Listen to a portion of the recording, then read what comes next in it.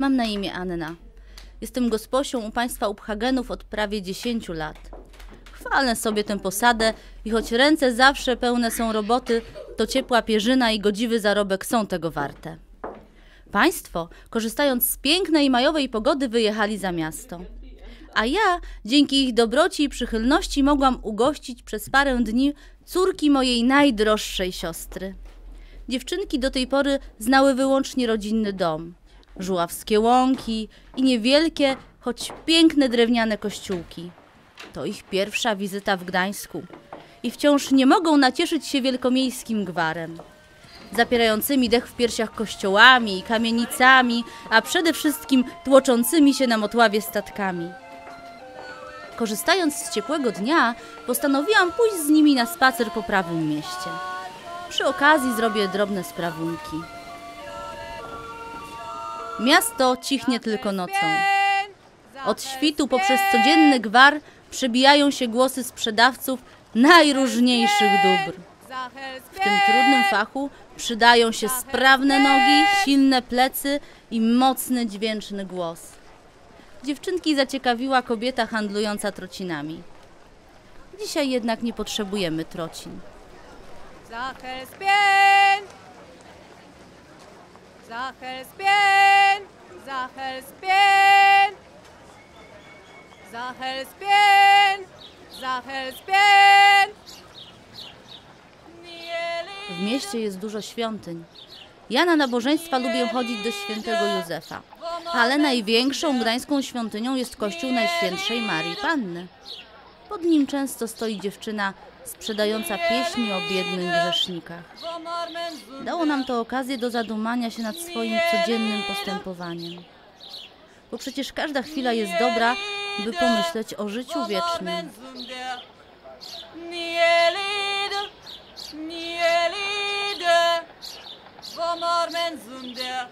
Postanowiłam przy okazji, że wieczorem udamy się do kościoła na krótką modlitwę.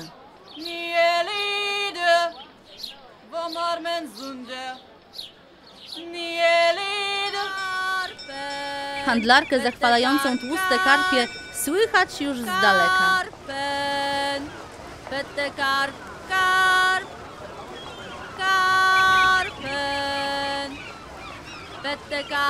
Liczyłam co prawda, że po drodze trafimy na świeże dorsze, jednak karpia też potrafię doskonale przyrządzić. Wybór ryb na ulicach Gdańska jest ogromny. Flądry, łososie, węgorze, szczupaki, a oprócz tego raki i krewetki, a wszystko świeże i w rozsądnych cenach.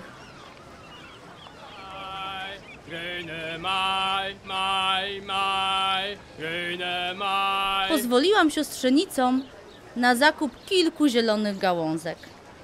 Niechże umają sobie nimi pokój, aby poczuć się trochę jak w domu.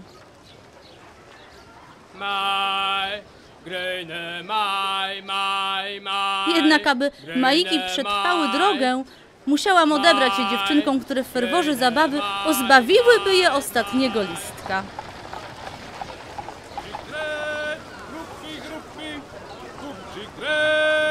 Do ryb przyda się trochę kaszy, a tę najlepiej kupować na wyspie Spiszów od polskich. Grupci, gret,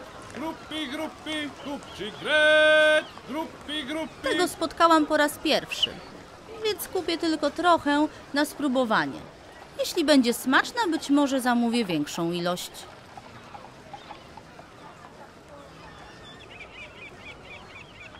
Czas wracać do domu i przyrządzić obiad. Czasami zastanawiam się, jak nasze miasto będzie wyglądało za 100 czy 200 lat.